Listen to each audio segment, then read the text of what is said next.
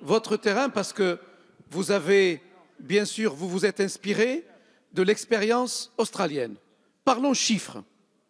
Qu'est-ce qu'on a comme chiffre aujourd'hui? Aucun chiffre sur l'étude d'impact de morbidité cardiovasculaire ou oncologique. Aucun chiffre. Aucun chiffre aujourd'hui en Australie sur le nombre de fumeurs. Par contre, il y a un chiffre qui est sorti et qui est inscrit.